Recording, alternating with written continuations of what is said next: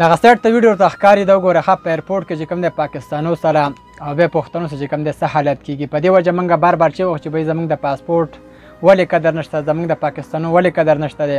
خو زمنګ دا شانته کې کم مشران دی هغه دا شانته ګډوډ دي السلام علیکم ملګرو جانس خانه امید لرم چې روز ټیک ټاک په دوستانو سره ته بتاغه ویډیو ښکاري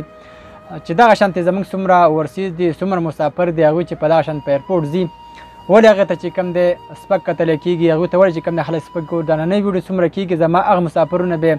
شیر کوي چې زمونږ هغه مشرانو ته هغه ادارو ته ورسي چې ولې زمونږ د پاسپورت چې کم د قدر نشته زمونږ د پاکستان په بار ملکونو کې په ایرپورټ باندې قدر نشته دی اخر د دې وجه سره تر دې وجه موږ معلومه کو چېرې موږ پښتنو سره زموږ داشن خلکو سوالې چې دا خلک داشن ته سپکه رویه کوي تاسو به کتل شي دا کس ول څومره د کې ور کوي کله د بیک لا کله دلا نو یو کس دی ویډیو کړی دا غاتم چې کم د ورشه مخامخ خو آیا چې کم د موږ په دې وجه خپه شو چې یاره ولې داشن ته په ایرپورټونو کې په بهر چې کم د پاکستانو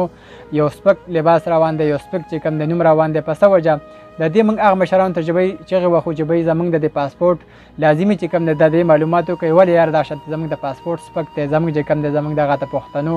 دغه جامه دغه نوم ولې سپک دی په څه وجه چې په هر رپورت کې چې کوم د خامخا دغه شانته کې مسافر ته خامخا رکاوټي تاسو به کتئ چې کوم رپورت باندې کوم مسافر دي خامخا دغه چې کوم د بیگ سو کې راوښلې دغه چې کوم نور سامانو څومره هغه چې کوم د دوړې بوړې کې دا ولې